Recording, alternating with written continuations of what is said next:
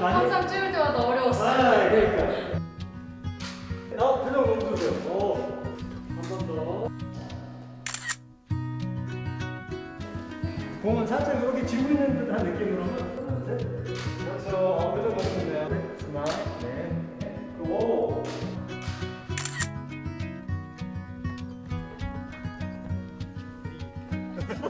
스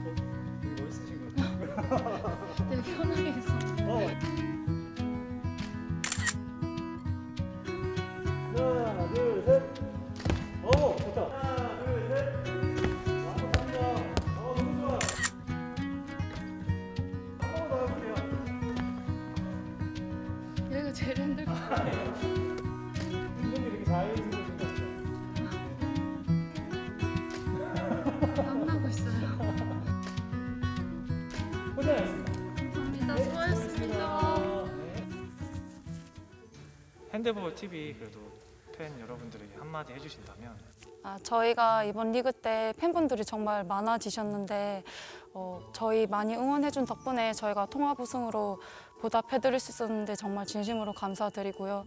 다음에도 그만 변치 않고 응원 많이 해주셨으면 좋겠습니다. 이제 우승하고 이제 휴가 복귀를 좀 한 걸로 알고 있는데 네. 휴가 기간 때는 조금 어떻게 좀 보내셨는지 어, 저는 리그 때문에 올해 집에 처음 간 거였어요.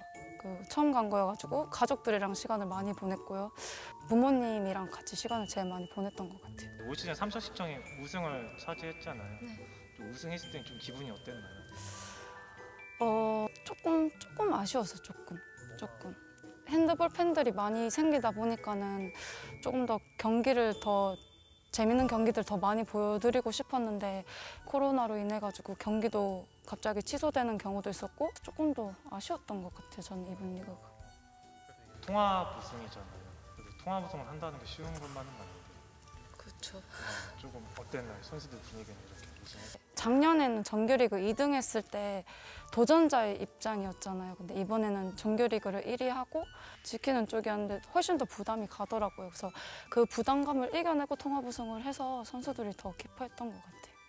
우승을 했는데 언제 조금 우승할 수 있을 것 같다 확신? 좀 이런 게 촉같은 네, 통합도 그렇고 뭐 정규리그도 그렇고 아, 정규리그는 좀 솔직히 몇 경기를 앞, 앞두고 저희가 좀 여유가 있었잖아요. 어, 그때는 좀 정말 한 게임만 또 열심히 뛰면은 우승이 바로 눈앞에 있다고 생각했고 챔프 때는 1차전 때 조금 생각했던 것보다 스코어가 조금 나서 어, 2차전 때 정신만 차리면은 우승을 할 수 있지 않을까 생각했는데 또 지고 우승하기는 또 싫더라고요. 그래서 선수들한테 그렇게는 우승하지 말자라고도 얘기했었고 다행히 통합 우승을 할 수 있었던 것 같아요. 좀올 시즌 치르면서 좀 가장 기억에 남는 순간이 있었다면 뭐 경기나 아 현전이 은퇴식 했을 때 저희가 1차전 때 부산한테 홈에서 졌어요. 현전이 은퇴식 때 저희 홈에서 부산이랑 다시 2차전을 한 거예요. 근데 저희가 1차전 때 져가지고 저희가 쫓아가는 입장이다 보니까 또 심리적으로 또 그런 게 생기잖아요. 그래서 경기 결과는 어떻게 되든 끝까지 뛰어보자고 오늘은 현전이 생각해서 끝까지 뛰어보자고 했는데 그날 애들이 너무 잘 뛰더라고요. 너무 너무. 저희 감독쌤이 이기든 지든 항상 한마디는 잔소리 하시거든요. 근데 그날은 게임 끝나고 저희한테 아무 말도 할 말이 없으시대요. 그 정도로, 예, 그 정도로 애들이 정말 잘 뛰어가지고 그 경기가 진짜 기억에 남는 것 같아요.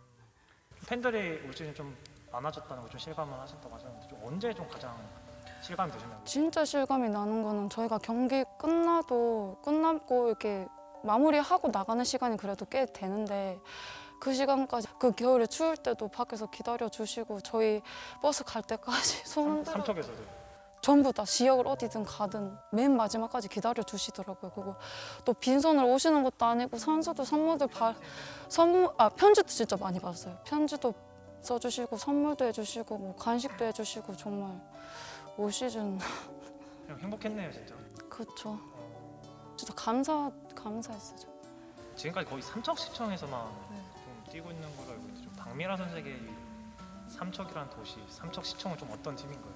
그냥 주위 사람들은 전부 다 제가 삼척 출신인 줄 아실 정도로 더 살아있는 줄 알겠어요. 네, 진짜 그냥 지금은 정말 제 고향이라고 해도 대구에서 고등학교랑 다 졸업하고 여기 고등학교까지 졸업하고 스무 살에 바로 일단.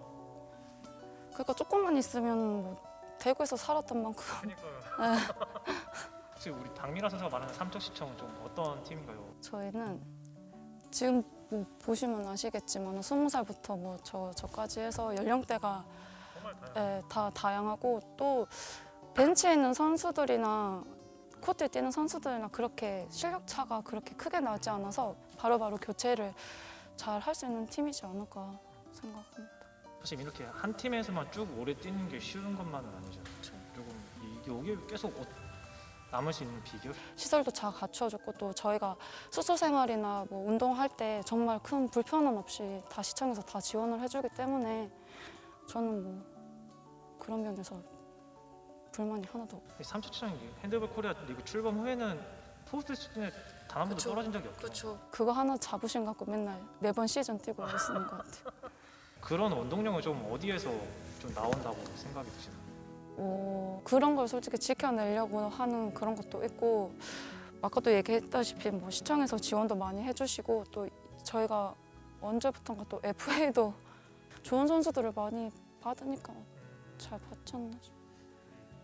조금 핸드볼 선수로서 좀 이제 선수 인생도 좀 어느 좀 종착지가 좀 보인다고 그쵸. 생각이 드는데 조금 언제 정도의 조금 이거 좀 기간을 두고 저는 뭐 그렇게 운동 운동 나이를 그렇게 길게 잡지는 않았거든요. 그래서 매 시즌 뛸 때마다 이게 마지막이 될 수도 있겠다 이렇게 생각하고 매 시즌 뛰었는데 올 시즌 마지막이 되지 않을까 생각하고 있습니다. 그러면 그래도 그러면 만약에 나는 조금 몸에 자신감이 있다면 네. 체력에도 자신감이 있고 네. 몇 살까지 그래도 한번 도전? 저는 솔직히 몸은 몸은 괜찮은 것 같아요. 몸은 괜찮은데 제가 어렸을 때부터 게임을 너무 많이 뛰고 이렇게 골캡이라는 게 심리적인 압박감이 정말 힘든 자리니까 정신 피로 이런 게 그힘 그런 압박감이나 이런 게 그리고 또 제가 그런 운동을 지금까지 하는 이유 중에 하나가 책임감? 제가 아니면 안 된다는 책임감이 이유 중에 하나였는데 이제 또 그런 자리를 채워줄 좋은 선수가 왔고 하니까는 괜찮지 않을까요? 우리 박미라 선수에게 있어서 조금 핸드볼은 좀 어떤 의미로 좀 다가오는지 제가 핸드볼 하면서 정말 많은 것들을 얻었어요. 뭐 상도 받고 뭐 명예 이런 것도 많이 받았고 또 어제 뭐 지금도 촬영하는데 이렇게 촬영할 수 있는 기회도 있었고 제 이름도 알릴 수 있었고 그리고 또 좋은 사람들을 정말 많이 만났거든요. 핸드볼을 하면서 저한테는 핸드볼이 정말 고마운 존재인 것 같아요. 좀 마지막으로 그러면 우리 삼척 시청 마지막. 팀원들하고 네. 팬들에게 한마디 여기 보면서 남겨주시면 좋을 것 같아요. 어, 리그 때 어, 열심히 한 덕분에 통합 우승으로 마무리 지었는데 어, 휴가 또 나갔다 오고 푹 쉬었으니까는 몸 관리 잘해가지고 돌아온 전국체전에서도 좋은 성적 냈으면 좋겠어. 마지막으로 팬들에게 한마디. 앞으로도 많은 사랑 부탁드립니다.